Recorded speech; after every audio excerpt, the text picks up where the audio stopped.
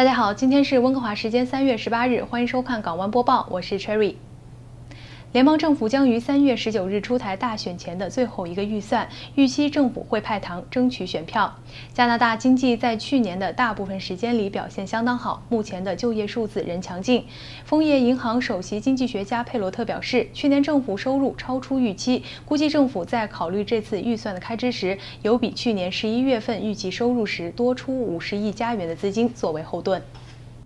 但是在二零一八年最后三个月，经济增长突然减速，使今年的经济前景变得暗淡。加拿大央行上周预测，二零一九年上半年加拿大经济表现软弱，比之前预测的短暂下滑更悲观。自由党内部刚经历了一场巨变，围绕蓝万林公司刑事诉案的丑闻，已导致两名政府内阁部长辞职，自由党的民意支持率大幅下降。目前，国会司法委员会和联邦操守专员仍在调查此事。现在无疑是自由党政。政府最需要争取民意支持的时候。不过，自由党过去三年采用了高开支的政策，虽然经济表现好，但按政府去年十一月估计，二零一八一九年度有一百八十一亿元赤字，随后两年的赤字分别为一百九十六亿元和一百八十一亿元。经济好带来的税收盈余会鼓励政府多花钱，但赤字高显然是对吸引选票不利的因素。加上未来经济预测不佳，自由党政府会如何花钱？周二会知道细节。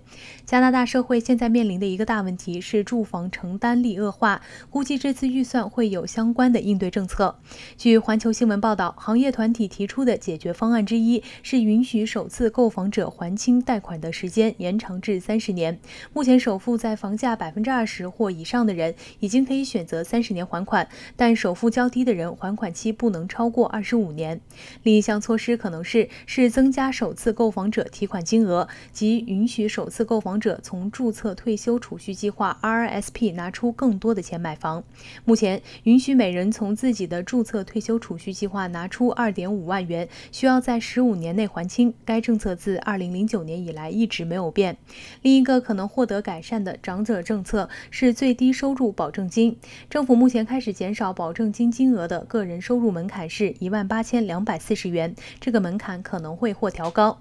加拿大面临技术工人短缺问题，行业预测是到二零二一年，全国将有二十二万个技工职位找不到人。有行家认为，政府可能会通过扩大税收抵免来支持相关的培训计划，同时也可能会增加对学徒培训计划的补贴。药物政策也是预算的主题之一。财长莫纽已经表示，这次预算将应对处方药成本的问题，但是具体怎么做还没有细节。政府有了更多的收入，但是要面对未来经济走缓。环球邮报称，一些行家认为政府可能会以需要刺激经济为由增加开支。枫叶银行首席经济学家佩罗特表示，目前的局势是一个令人瞩目的政治挑战与经济不确定性的混合物。特鲁多政府在政治上显然比六个月前更困难，他们可能会在预算方面寻找能够。增加当选的机会的东西。加拿大帝国商业银行首席经济学家申菲尔德表示，目前对政府来说有好消息也有坏消息。估计自由党政府会增加开支，最近的经济低迷只会给这次预算增加一个派糖的理由。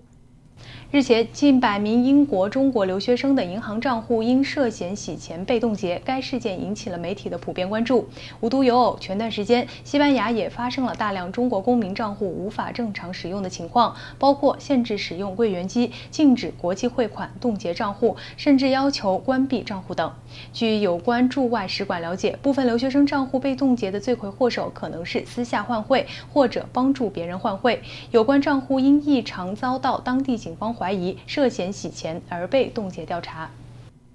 长期以来，因汇率更优惠。换汇门槛低，包括留学生在内的海外中国公民私下换汇习以为常，但是却往往忽视了这背后的风险，给自己在当地的学习、工作和生活造成负面影响。去年以来，中国驻英国、俄罗斯、加拿大、澳大利亚、韩国等使领馆多次发布提醒，称接到中国公民求助反映遭遇换汇诈骗。诈骗分子往往以优惠换汇为诱饵，对受害人进行诈骗。受害人多通过朋友推荐认识诈骗分子，在微信群中与与对方联系，轻信对方发来的银行转账截图，导致上当受骗，遭受经济损失。私下换汇最大的隐患在于无法保证对方资金来源合法性，易沦为洗钱链条的一环。在各国对加大对洗钱案件查处打击力度的背景下，犯罪团伙利用留学生来实施洗钱活动屡见不鲜。目前，世界上很多国家都在不断打击包括洗钱在的金融犯罪活动的力度，如银行账户使用较随意、资金往来频繁，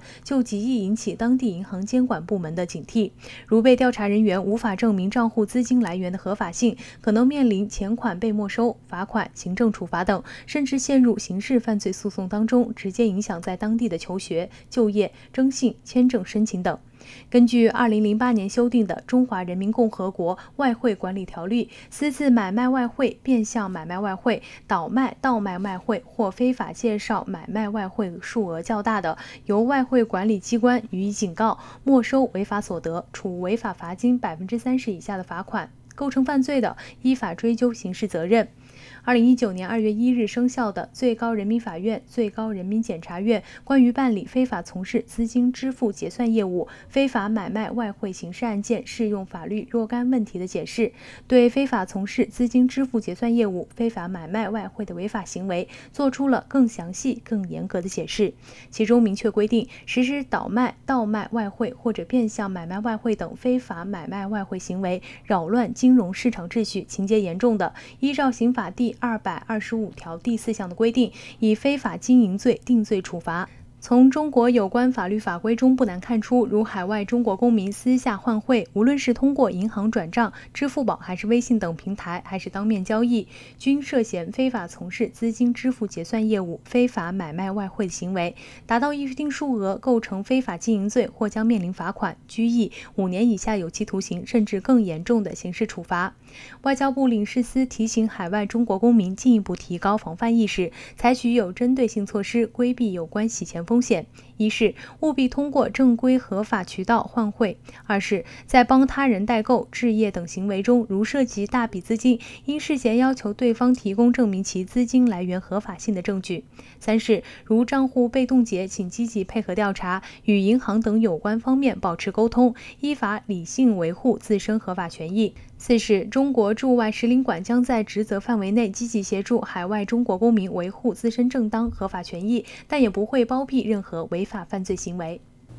大温房市的惨淡可是愁坏了卖家们，但如果只是卖家少房源多，房主们还可以把房子攥在手里升升值。然而半路杀出了投机空置税，房主们不仅每个月要还贷款，还得要交一大笔税，真的是有苦说不出。最后逼得房主们前有建租豪宅城堡，后有降价，纷纷想办法找出路。CTV News 就报道了这样一栋豪宅，原价六百万的 UBC 学区房，经过了两次降价，现在只需三百多万就能入手。豪宅位于温哥华的 Chalcott Street，属于大名鼎鼎的丹贝尔豪宅区，离华为公主孟晚舟的温馨豪宅只有一街之隔，步行距离二百一十米。据 Twitter 某博主爆料，这栋房子的卖家是华人，二零一八年四月以六百零六万买入，今年一月的 BC 省估值为五百五十四点六万。不知道是什么原因，房主在买入短短八个月的时间后，就于去年十二月以五百九十九万挂牌。虽然和卖入价相比，算是割了一小块肉。但当时的挂牌价比估价高一些，也算是物有所值了。结果到了今年二月份，大概是急于出手，房主将挂牌价降到了四百六十八万，仅仅一个月后就一刀下去，再降七十多万，直接到了三百万军团，比估值还便宜了一百多万。但是仔细看看这个房子，二零一二年建成，六房七卫，建筑面积四千六百多平方尺，土地面积更是有近六千六百平方尺。不仅数据上没问题，再看了内部的。装潢后，甚至还有点动心。宽敞大气的客厅里摆设着华人喜爱的屏风和紫水晶石，厨房区域单独的分割开来，属于半开放式。对于华人来说，做一些油烟大的菜也不用担心。家具基本都是欧式，奢华上档次，还有专门的影音室。虽然从外表看上去不大，但是私密的围墙里有足够的院落空间，闲下来的时候可以和家人朋友享受一餐烧烤。最最重要的是，在房屋的描述中，这栋豪宅还是。各各大中小学名校的学区房。从 Realtor.ca 网站上可以看出，在这套房子周围的豪宅很多都以两百到四百万之间的价格出售。经济学家 Tom Daboff 在接受 CTV 采访时表示。大温房地产市场里受打击最严重的就是这个价位的房屋。尽管之前有数据表明大温豪宅市场跌幅约为百分之七点一，但实际上有更多的人在降价卖房，豪宅市场的降幅也远不止这个数。尤其是独立屋的交易更是奏降了百分之五十以上。对于温哥华的豪宅业主们，除了有 BC 省投机与空置税的压力，还顶着温哥华市空置税、温哥华短租房强制许可等多项政策，所以才造成了现在这样的市。场反应，有了充裕的好房源、合适的价格，再加上一片向好的降息政策，不得不说很让人心动。不过，冲动投资还是使不得，希望各位都能在风雨飘摇的房市中完成最划算的交易。列治文的一家快递公司正试图将无人驾驶汽车引入送货车队。这家叫做 Novex Delivery Solutions 的快递公司表示，公司会采用混合动力和全电动汽车，在低陆平原地区提供当日送达服务，并宣称公司车队的碳排放量比任何其他快递公司都要少。目前，他们正在对特斯拉的 Model 3的自动驾驶功能进行试验，看看是否能够做到真正的无司机驾驶。该公司表示，他们的司机在送货时有百分之七的时间浪费在寻找车位。如果这项实验可以用在现实中，那么司机在下车送货的同时，车辆可以自己在街区内绕行，免去了停车的麻烦。虽然该公司一直在秘密测试这项技术，但是司机仍然坐在驾驶室，以便随时接受汽车，防止遇到危险。B.C 省目前的法律规定不允许无人汽车上路，但交通部表示说，他们在密切留意无人驾驶技术的发展，同时正在。商讨未来无人驾驶汽车在保险政策上的监管要求，而目前影响无人车辆上路的最大因素则是道路基础建设。加拿大东海岸地区最大的一间儿童医院发警告称，由于误食大麻产品而中毒的儿童大幅增加，家长们需要引起注意。据加通社报道，位于哈里法克斯医院的 IWK Healthy Center 称，该院中毒中心接到大麻中毒热线电话已经增加了三倍。同时，加拿大全国各地的中毒中心也都报告称，自从去年十月大麻合法化以来，误食大麻零食的报告明显增加，尤其是十二岁及以下儿童。医院方面指出，这些大麻零食外表看上去与儿童喜爱的普通零食没有什么区别，儿童无法分辨哪一种不含大麻，哪一种含大麻。为此，医院提醒家长们做好防范措施。目前没有关于大麻食品的安全存放规定，如包装和标识上提醒儿童远离等，因为家长们要将所有大麻食品放在上锁的地方，避免让儿童接触到。目前，大麻零食在加拿大仍是非法的，但是即将在今年的十月合法化。IWK。医院指出，所有大麻食品应该有清楚的标记，存放在儿童拿不到的地方。同时，成人或家长不应该在儿童面前吸食大麻。该院中毒中心的负责人指出，儿童对于大麻中有效成分的效用更加敏感，一旦有儿童服食了可制毒的足量大麻或尼古丁，会出现极度困倦等症状。以上是今天的港湾播报，感谢大家的收看，我是 Cherry。如果您喜欢我们的节目，请点击右下方订阅我们的频道，我们下期再见。